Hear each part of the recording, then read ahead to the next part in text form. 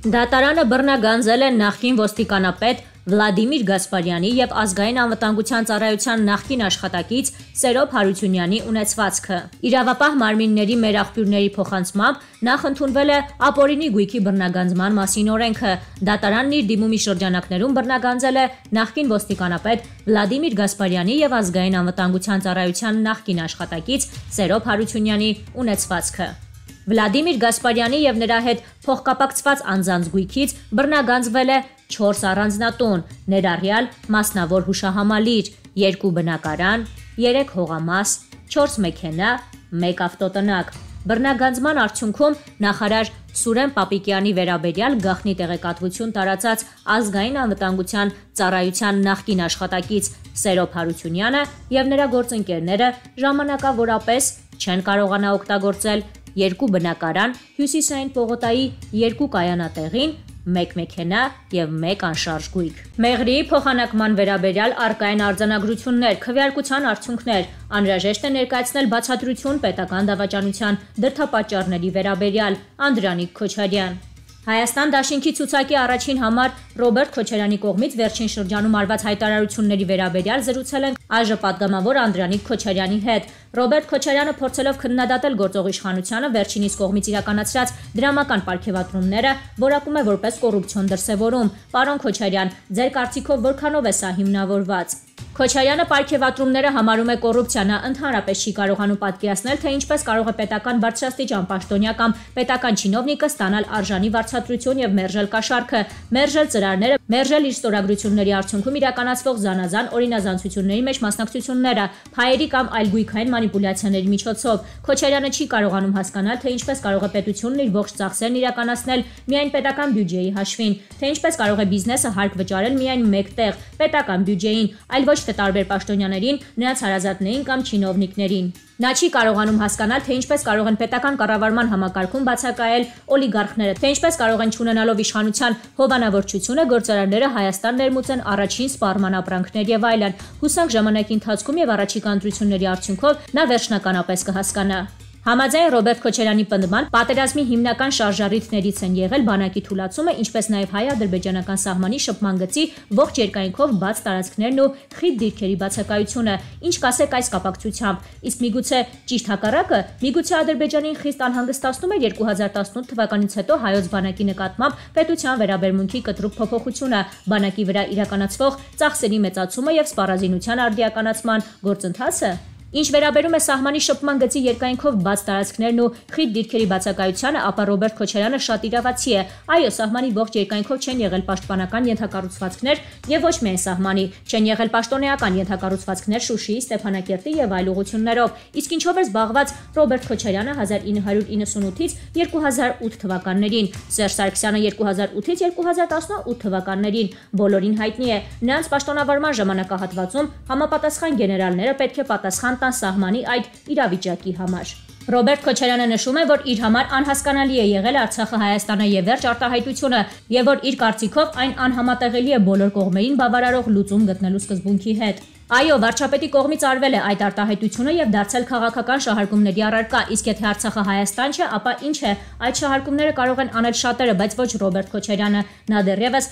1998 թվականին է Արցախը համարել Հայաստան, երբ թիրախավորել է Հայաստանի Հանրապետության նախագահի պաշտոնը։ Երևի Արցախի Հայաստան լինելու հանգամանքն է իրեն դրթել, հանել Արցախի իշխանություններին ԵՀԿ բանակցային գործընթացից։ Պարոն Քոչարյան, երկրորդ նախագահը շարունակաբար խուսափում է մեղրի փոխանակման վերաբերյալ որևէ մեկնաբանությունից։ Ըստ ձեզ ո՞րն է դրա պատճառը։ Քոչարյանը հրաժարվում է մեկնաբանել մեղրու փոխանակման փաստը, հղում անելով, որ չի ցանկանում մեկնաբանել Նիկոլ Փաշինյանի հայտարարությունը, բայց դա Նիկոլ Փաշինյանի հայտարարությունը չէ, դա փաստ է։ Եթե մի բանի վերաբերյալ արկային արձանագրություններ, քվեարկության արդյունքներ, ինչպես նաև ականատեսների վկայություններ, ապա դա հայտարարություն չէ, այլ փաստ։ Հետևաբար դա անհրաժեշտ չէ մեկնաբանել, պարզապես անհրաժեշտ է ներկայացնել բացատրություններ պետական դավաճանության դրդապատճառների վերաբերյալ։ Իր հարցազրույցներում Ռոբերտ Քոչարյանը երկրում ստեղծված իրավական վիճակին անդրադառնալիս նշում է, որ Հայաստանի Հանրապետության դատական համակարգում բացակայում է նախկինների վերաբերյալ օրինական ուժի մեջ մտած մեղադրական դատական որոշում, ակնարկելով, որ բոլոր մեղադրանքները շինծու են։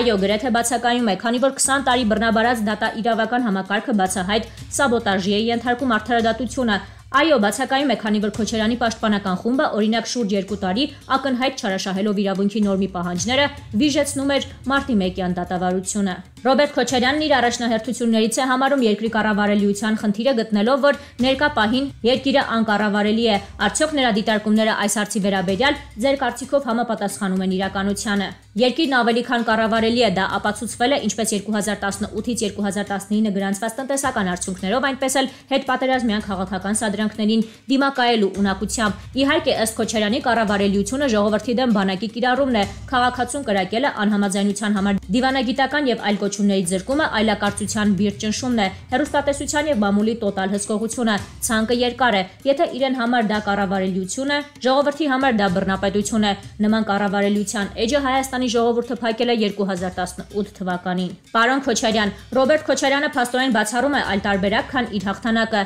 Ըստ նրա իշխանությունն անգամ ռեսուրս չունի ընտրակեղծիքներ կատարելու համար։ Ձեր կարծիքը Դե իհարկե չունի, իշխանությունը չունի նաև տասնյակ հերոստակայան եւ հարյուրավոր սոցիալական ցանցերի ֆեյքեր։ Իշխանությունը չունի թաղային հեղինակություններ եւ գործազուրկ ագիտատորներ։ Իշխանությունն ունի մեկ ռեսուրս՝ դա երկխոսությունն է քաղաքացու հետ եւ ամենակարևորը իշխանությունը ցանկություն չունի կեղծել ընտրությունները։ Անկախացումից ի վեր այս ընտրությունները եզակի են նաեւ նրանով, որ նույնիսկ փորձագետները չեն կարողանում կանխորոշել ընտրությունների ելքը։ Ամփոփելով ասածս կուզենայի նշել, որ Քոչարյանական էժան ագիտացիայի հիմնական թեզը հետեւյալն է. Քոչարյանը Քոչարյանի օրոք լավ ենք ապրել։ Կարծում եմ, որ այս մարդիկ վերջապես պետք է հասկանան, որ Հայաստանում լրջագույն փոփոխություններ են տեղի ունեցել նաև հասարակության ընկալումների մեջ։ Մարդիկ ընտրության են գնում ոչ թե որկրամոլի հոգեբանությամբ, ում քաղաքական ընտրությունը պայմանավորված է ստամոքսի պարունակությամբ, նեղ անձնական շահով եւ գրպանում միանվագ հայտնված 10000 դրամով, այլ երկրում փոփոխվող ժողովրդավարական արժեքային համակարգով, խոսքի եւ մամուլի ազատությամբ, տնտեսական ազատականացմամբ, իշխանություն ձևավորելու եւ իշխանությանը